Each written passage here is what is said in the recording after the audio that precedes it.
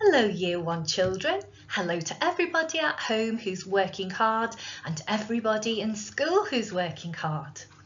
Our RE lesson today is all about friends. And it's such a tough time, isn't it, at the moment? Because some people, we're just missing our friends, aren't we? I'm missing seeing my friends and I bet you're see, missing seeing your friends. Let's hope that it won't be too long before we can all get together and see each other and play with each other and have fun with each other and talk with each other all over again. This half term, we're going to be talking about Jesus being very special. Christians all around the world make friends with Jesus and believe that Jesus is a very, very special friend to have. So we're going to be learning a little bit more about that in the next few weeks. So take a look at these characters. Can you see they're all friends from cartoons and TV programmes? Who can you spot? Can you spot Woody and Buzz? Can you spot Ant and Dec from the television? Who else do you know is who is a good friend? Just think for a little moment. How do you make friends? Who are your special friends? Hmm, what makes a person a good friend? How do you show that you're a good friend to somebody? And what activities do you like to do with your friends? Now here's a story for you to sit back and enjoy. You just need to click the YouTube link and think about what makes Superworm a good friend. Sit back and enjoy it and pause the video. Did you enjoy that Superworm story? I love the stories by Julia Donaldson. She really is a good author, isn't she? Well, it's time for your independent task now.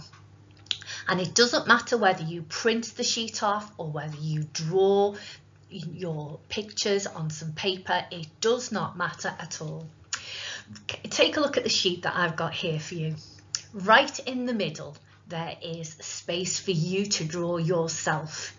You can draw your whole body or you can just draw a really nice smiley face. Then there's space for four more friends in each one of the shapes on the sheet. And then at the bottom, I want you to do some thinking and think about what makes a good friend. Is it somebody who plays with you? Maybe it's somebody who shares. Maybe it's somebody who makes you laugh especially when you're not feeling very positive. I know I've got a friend who's like that. So have a think and finish off what makes somebody a good friend. Now it's time to be an RE detective and it's time to learn a little bit more about Jesus because over the next few weeks we're going to be finding out about Jesus's special friends. I wonder if you can think about this. What are his special friends called? I've got a bit of a clue for you. His friends are his de. I wonder if you can work it out. Have you heard that word before? What about his friends' names? I can tell you that there are two churches very close to our school and they're named after Jesus's friends. I wonder what they are. Saint J J J J and Saint B B B B B. Well, I've got a clip of a song that I really like to listen to in RE and I like to sing along to. You can find the clip there and play it for yourselves. Maybe Next week, you'll remember some of the names of Jesus' special friends. There were 12 of them that he really was close to. Well, that's all for now.